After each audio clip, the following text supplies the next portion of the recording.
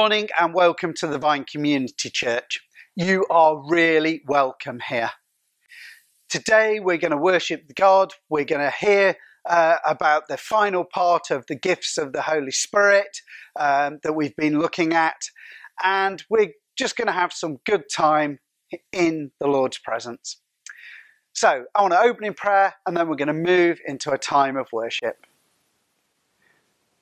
Holy Spirit, wherever we are, we just ask that you make yourself known to us. You are welcome in this place. Help us to worship you, Lord. Help us to worship you as we sing, as we pray, as we move in the gifts. But most of all, help us to know your presence. In Jesus' name, amen. Let's join together to worship. If you can stand, please do.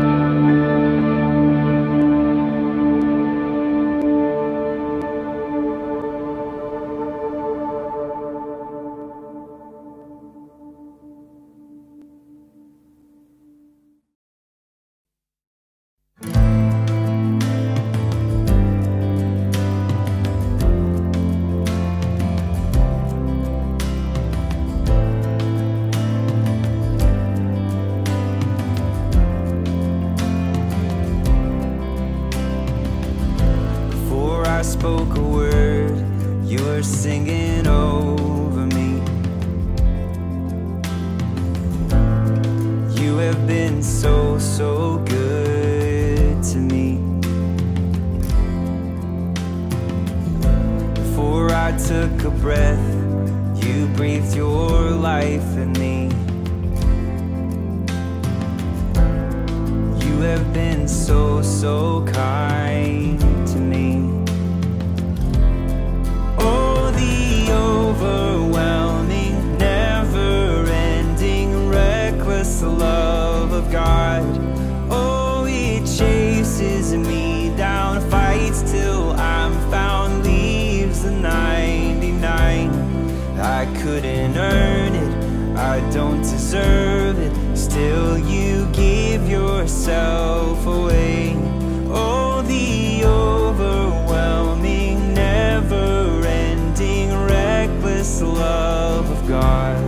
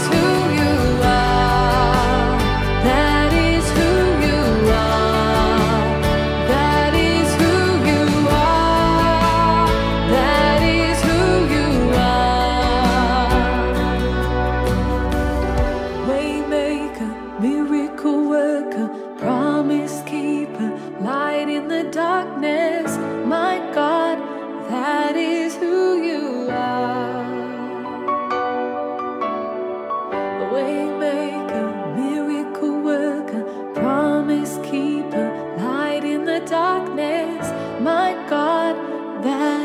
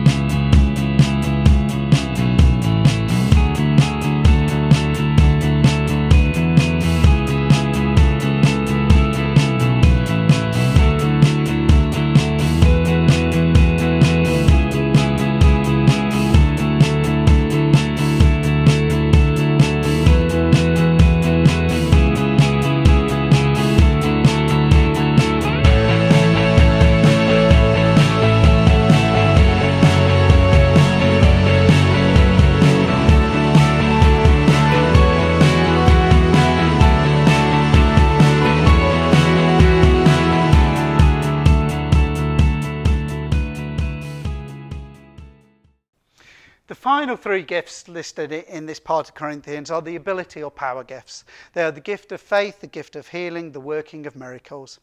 These gifts are given by the Holy Spirit to allow us to fulfill the commands of Jesus. We see in Luke it says, and he sent them out to proclaim the kingdom of God and to heal the sick. And in Matthew it says, he sent them to heal the sick, raise the dead, cleanse those who have leprosy, drive out demons.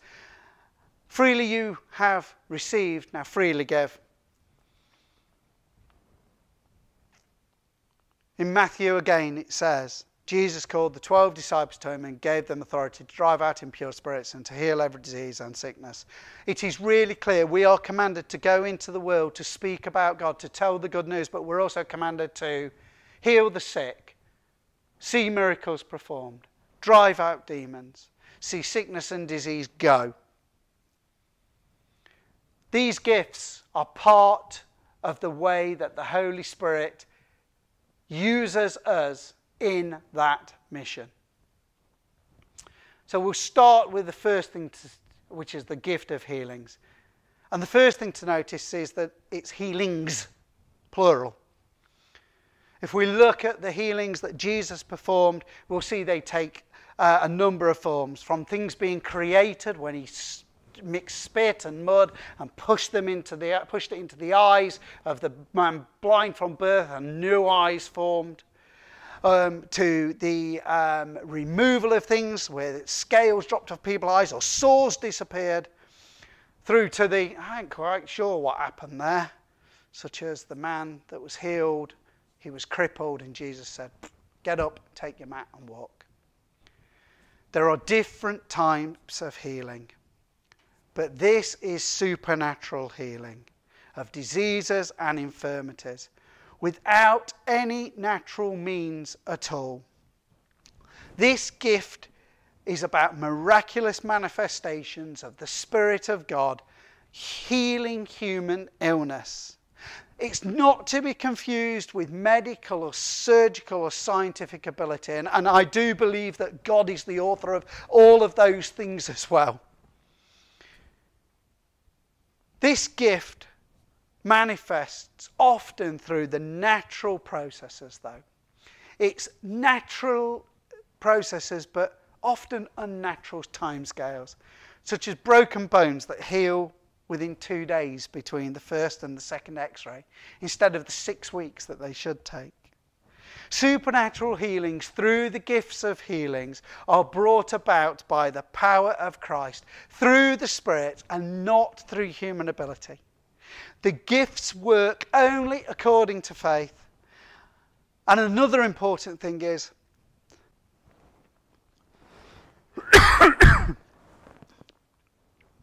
And another important thing is the gift is a gift to the person being healed and not to the messenger. We talk about people being involved in healings. And yes, that some people do see more healings than others. Absolutely. God seems to work, work through them, but the gift of healing is on the sick person. You know, the gift of healings is used to deliver the sick and destroy the works of the devil in the human body. Mark 132. It's used to authorize the gospel message as preached by servants of God. Ephesians 1:11. It's used to authorize the message of the gospel. Acts 8, 6 to 7. To draw people within earshot of the gospel. To turn people to the gospel and to convince unbelievers of the truth of the word of God. Healing is split out from the other miracles, though it is definitely a miracle. You know, it's much easier to talk to people about the power of God when they've seen a friend healed or they've been healed themselves. I think that's why Jesus was really clear in his, his instructions go out and tell the story. But as you do that, heal the sick, cast out demons, perform miracles. We seem to miss that. We seem to miss that in the church today. We've got the, we'll tell the good news. Well, we've told you the good news. Why have you not believed? Jesus gives us through this, these gifts, through the Holy Spirit, the wherewithal to see miraculous events happen. Not because of us, because of the Holy Spirit. But that paves the way to the gospel. And that's the second, uh, the second gift here, and that's the, the, the rest of the miracles. And let, let's just be clear what we mean by that. A miracle is a supernatural intervention in the ordinary course of nature. It's a temporary suspension of the usual order, an interruption of the system of nature as we know it. You know, we can read in the Bible about rivers stopping, seas parting. They're not natural things, or they don't happen naturally without God intervening, I should say. A miracle is a sovereign act of the Spirit of God, irrespective of the laws of, the, of, of nature and the systems that, that govern it. A miracle is not an undiscovered event. It's not something that has got some weird and long convoluted explanation. It is God changing the game for a moment in time because God is not bound by those natural laws. God acts as He wills within or outside of what we understand. And sometimes God uses us through the Holy Spirit to be part and parcel of that event. You know, if we look through through the Bible, there there are miracles in the Old Testament and the New Testament. Um, there are there are miracles that see people taken out of the hands of enemies, that they see people provided for those that need. They see divine judgment and disciplines. They see miracles that deliver people from unavoidable situations of danger. We see people raised from the dead. All of that is to display God's power and magnificence. And I just want to tell you that that is not confined to the pages of the Bible. You know, we've got good friends, um, good friends in, in organisations uh, that, that have come and visited us, um, that uh, have spoken of their personal experience of seeing those things happen, of seeing provision for orphans in parts of Africa that's just miraculous. People arriving out of the blue and going, I don't know why I was told to bring this load of goods here, but I was told to bring it to here. I didn't even know you were here. We've seen people saved when they shouldn't have been saved. We've seen stories of people raised from the dead. And these are not a friend of a friend of a friend told us, these are people we know.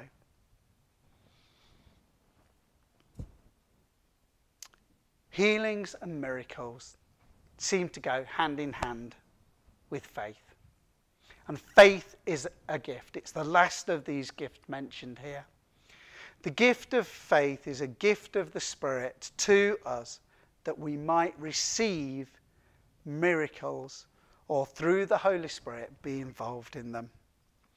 The gift of faith is miraculous and supernatural, like all of the other gifts of the Spirit.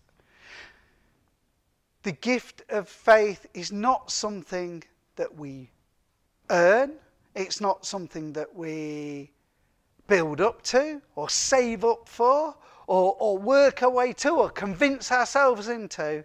It is a supernatural gift. And it's distinct from the workings of miracles. They both produce miracles. You could draw a distinction between the gift of miracles and the gift of faith like this. And it is a poor artificial distinction, but it is helpful. The gift of miracles is very, is very active, it's very immediate, it's very short term. Um, the gift of miracles is we pray and a miracle happens there and then because the Holy Spirit gives that gift where the gift of faith is, is often more long term, it's often more passive, it's often more faithful. Uh, Isaac's blessing was achieved by the gift of faith, and it took nearly a lifetime to fulfill. You know, we often articulate uh, a lack of the manifestation of spiritual gifts as a lack of faith, as if we've got to sort of build up a bank of it before we can expend it. But that's not what it is. The gift of faith is exactly that a gift that we are given. I do not believe for one moment that God gives us less than we need. I believe that we, that we as believers get these pneumaticon gifts, these gifts with a special character, because God is gracious and abundant. And I believe that we should demonstrate them, that they should be evident in our lives and amongst us. I believe because of that we will be given any and all of these gifts if we are willing and available.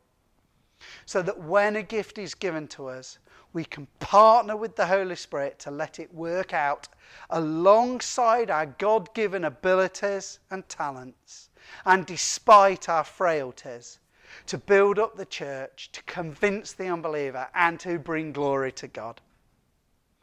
The choice of which gift we receive, whether it's one of the pneumaticon gifts or it's a gift of serving or leadership, that's the decision of the Holy Spirit. But you know, the Holy Spirit's decision is not completely independent to that of our desires and our humble, prayerful seeking. Corinthians tells us to earnestly desire the greater gifts, and especially prophecy. You know, the sovereignty of God does not negate human responsibility. We are called to desire those gifts and to ask for them and to practice and foster those that we have. It could be the gifts that we've covered in this last three weeks. Or it could be the gifts elsewhere prophecy, serving, teaching, exhortation, giving, leadership, mercy, being an apostle, a prophet, a teacher, miracles, different kinds of healing, helps, administration, tongues, evangelism, or a spirit of wisdom, a spirit of understanding, a spirit of counsel, a spirit of might, and the spirit of, of knowledge, or the spirit of the fear of the Lord. We're called to desire the gifts, the higher gifts, that we may build up Christ, build up the body of Christ, convince the unbeliever, and bring glory to God. So I'm going to pray that over all of us. I pray, Lord, that we make ourselves available. Help us, Holy Spirit, to be sensitive to when you are moving. Help us to be available for you to use in the situations we are in. Let us make our talents and skills available to you. And we give thanks for those talents and skills that you've given. And Holy Spirit, I'm going to pray the most dangerous prayer now. Because I'm going to pray for each of us that you make the gifts of the Spirit available through us, even those that we're unsure about, those that we don't think we've got faith for. So I pray, Holy Spirit, give us that gift of faith that we may see miracles performed, that we may see healings in our own bodies and the people around us, that we may see supernatural events, that we may see even the raising of the dead, if that is your will for us to do. Make us wholly available. Lord, I'm reminded of that piece in Isaiah where Isaiah was, saw the vision and was asked, Who will go for me? And Isaiah replied, I will go. Lord, for those of us in this prayer, for those that us that honestly can say those words, choose me, then we pray that you choose us. Release your gifts through us as you see fit. In Jesus' name. Amen.